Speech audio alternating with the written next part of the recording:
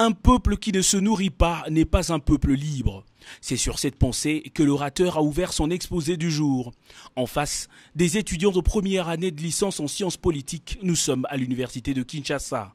Pour la dernière séance du cours d'analyse de politique publique dispensé par le professeur Anselme Meya, c'est la politique publique sur les investissements que ce futur cadre ont appris.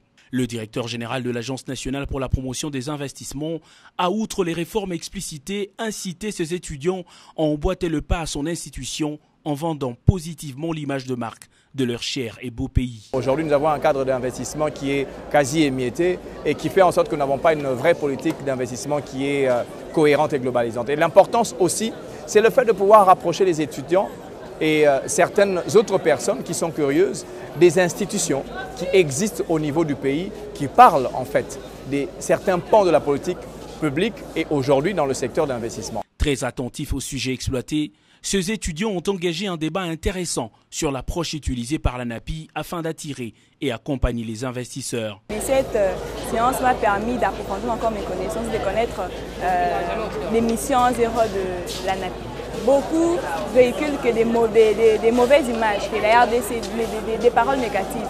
Mais avec la NAPI, elle véhicule de la bonne image de la RDC. Sensibiliser les jeunes étudiants cadres du futur sur les réalités du milieu des affaires, la NAPI en a fait une priorité dans sa filière promotion.